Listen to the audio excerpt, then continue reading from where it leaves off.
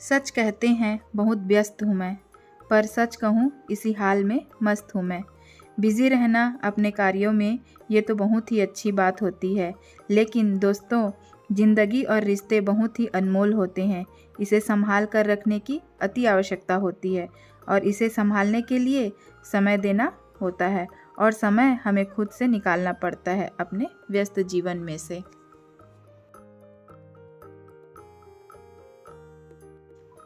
सो so friends अभी शाम के छः बज रहे हैं। इनके भैया आ चुके हैं जसपुर से और हमारे लिए खाने का लेकर आए हैं। खाने में है बर्गर और रबड़ी जलेबी। सो so आइए, मिलकर खाते हैं। आपका मन भी हमेशा खाने का करता होगा तो आपको कुछ ऐसी चीज़ें ज़रूर खानी चाहिए जिससे कि आप खाने को अच्छी तरह से इन्जॉय कर सकें। सो बर्गर खाते खाते इनके भैया जसपुर के बारे में कुछ कुछ बता रहे थे और वहाँ से कुछ सामान लेकर आए हैं, सो मैं आपको दिखाती हूँ।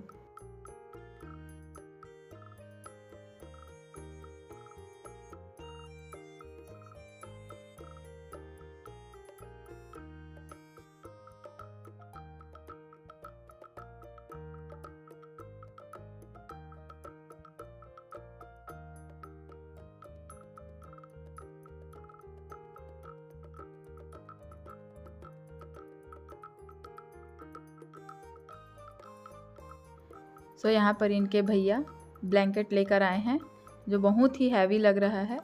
और मैं हमेशा कुछ लाते हैं तो मैं प्राइस टैग ज़रूर देखती हूँ और इनसे पूछती हूँ तो मेरे को झूठ बोल देते हैं कि इतने का लाया हूँ इसलिए मैं प्राइस टैग ज़रूर देखती हूँ। बहुत ही सुंदर ब्लैंकेट है ये आपको दिख रहा होगा। बहुत ले, लेकिन बहुत हैवी है ये।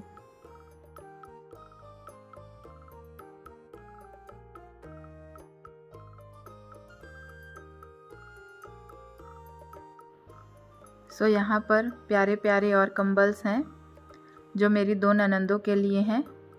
मेरी दो ननंद हैं दो छोटी वाली के लिए और दो बड़ी वाली के लिए। बहुत ही सॉफ्ट है बहुत ही सुंदर है। बहुत ही प्यारा कलर है। आई थिंक ब्लू बहुत लोग का फेवरेट कलर होता है।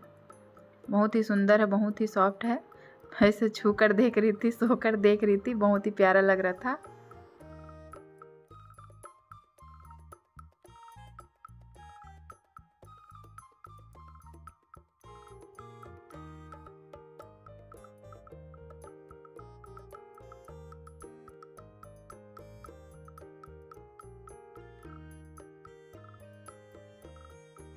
सो सारे ब्लैंकेट बहुत ही प्यारे प्यारे कलर में हैं।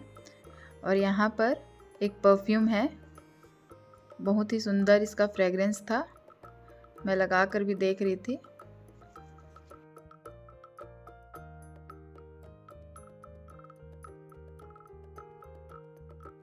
और यहाँ पर कुछ कपड़े हैं। ये ये वाला बैग है, जो सामान के साथ फ्री में मिला है। मतलब गिफ्ट मिला है और परफ्यूम भी गिफ्ट में मिला था। और ये है टावेल मेरे छोटे देवर के लिए। बहुत ही प्यारा कलर है। और ये वाला स्वेटर मेरे छोटे देवर के लिए है और यहाँ पर भी मैं प्राइस टैग देख रही थी कितने का है बोलकर। और ये वाला स्वेटर अपने लिए लेकर आए हैं। बहुत ही प्यारा कलर है। वाइट के साथ ब्लू में सेडेड है। अल्फ़ाबेट्स लिखा हुआ है। इसमें भी प्राइस टैग देख रही हूँ।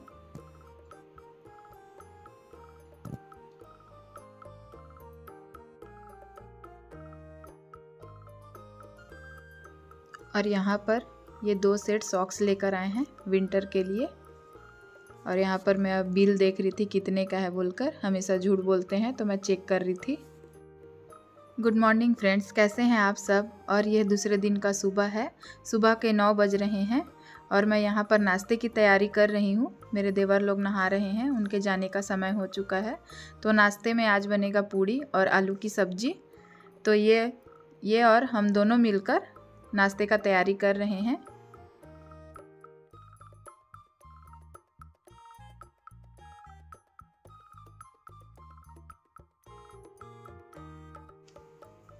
सो so, यहाँ पर नाश्ते की तैयारी करते करते ये बता रहे थे कि जसपुर का बहुत ही अच्छा टूर है।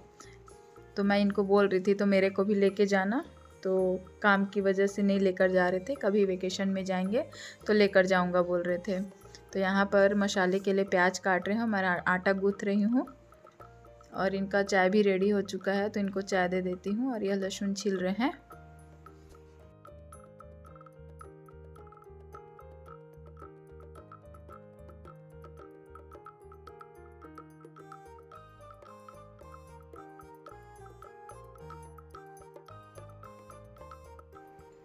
और यहाँ पर लहसुन छिल रहे थे तो लहसुन को चाय के अंदर डाल दिए, इसलिए हंस रहे हैं। बात में ही भूल गए थे लहसुन को कहाँ डालना है बोल के।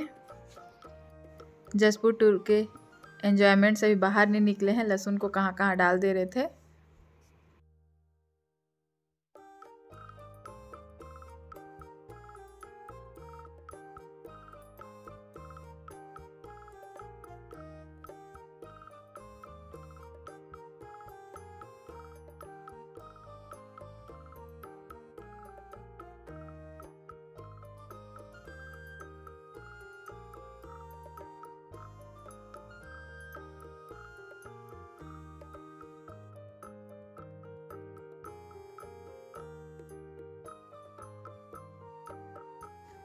सो so फ्रेंड्स, यहाँ पर मेरी पूड़ी तैयार हो रही है।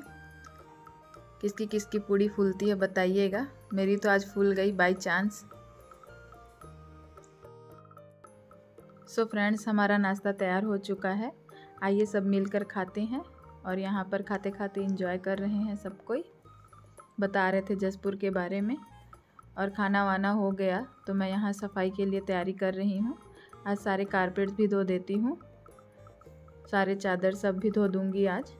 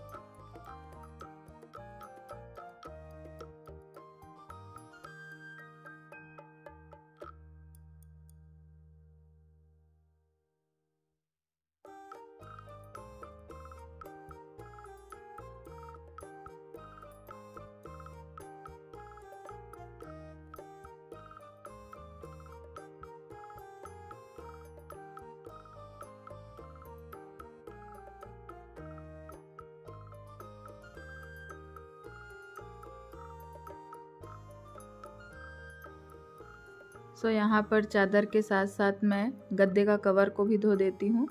थोड़ा सा दाग लग गया था तो।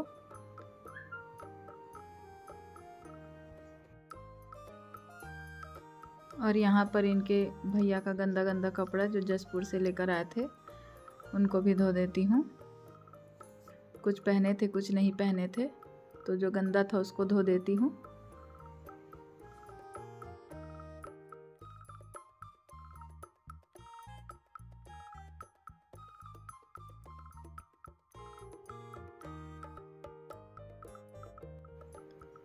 सो इतने सारे कपड़े हो गए हैं धोने के लिए। सारे कपड़ों को मशीन में डाल देती हूँ। धोने के लिए धुल जाएँगे। संडे का दिन तो पूरे काम में ही निकल जाता है।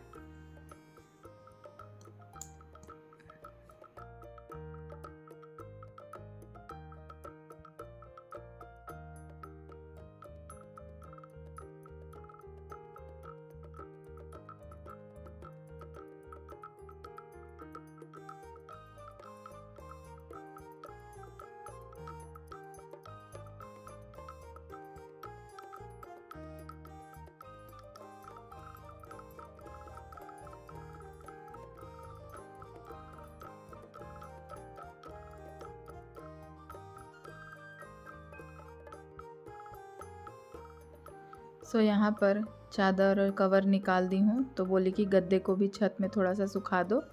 जितने भी नमी रहते हैं वो भी सूख जाएँगे।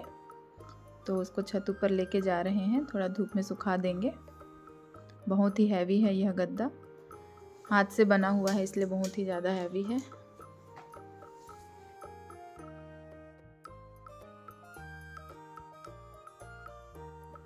और यहाँ पर मैं नाश्ते का बर्तन को धो देती हूँ। फिर झाड़ू पोछा कर दूँगी, कपड़े भी धोने बाकी हैं क्योंकि मशीन में डाली हूँ।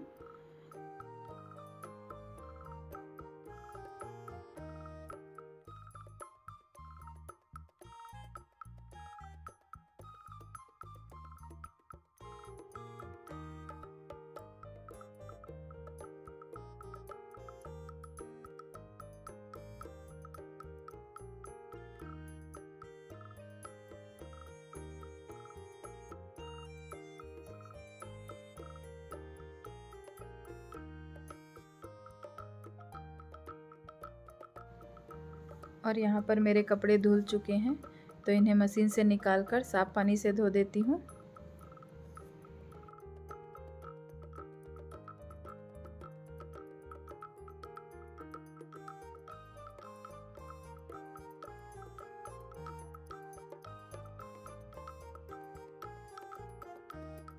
और यहाँ पर मैं कारपेट को भी धो देती हूँ, बहुत ही गंदा हो चुका था। सारे बाल झड़ झड़ के इसी में फंस जाते थे। बाल भी निकल गए साफ़ करते हुए। और यहाँ पर मैं झाड़ू भी कर दे रही हूँ। झाड़ू के बाद पोछा कर दूँगी तो सारे काम ख़त्म हो जाएँगे।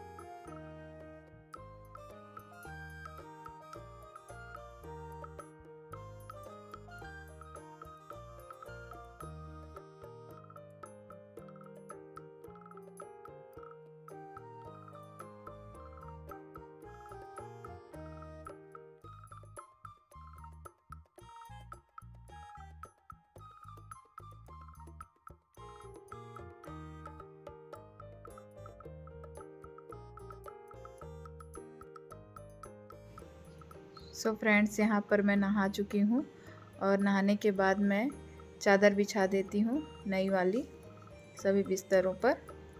उसके बाद खाना खा लेंगे। मेरे कपड़े धुल रहे थे तो मैं खाना भी बना रही थी बीच में तो मेरा खाना बन चुका है। तो चादर बिछाने के बाद हम लोग खाना खा लेंगे।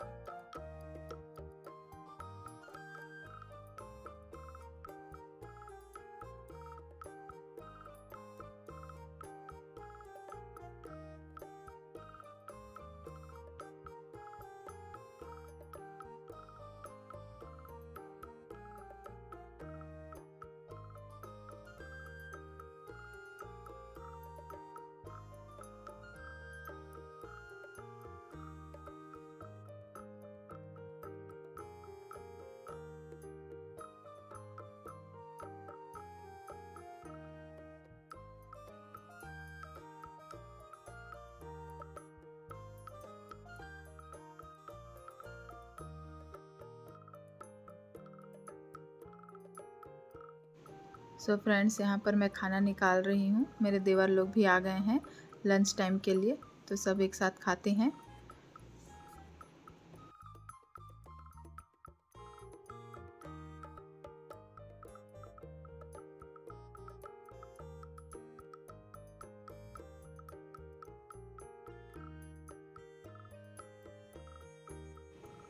सो so फ्रेंड्स शाम के छः बज चुके हैं और हम लोग यहाँ पर चाय पियेंगे। तो मैं चाय निकाल दे रही हूँ मेरे लिए और इनके लिए क्योंकि सोनू चाय नहीं पीता है।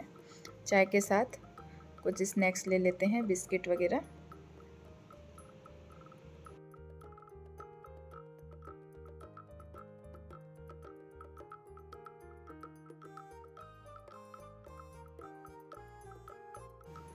सो so, यहाँ पर हम लोग चाय और बिस्किट खा रहे हैं और शाम हो गया है और वीडियो काफ़ी लंबा हो चुका है।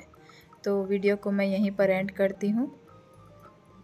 वीडियो पसंद आए तो वीडियो को लाइक करें शेयर करें और चैनल को सब्सक्राइब करें।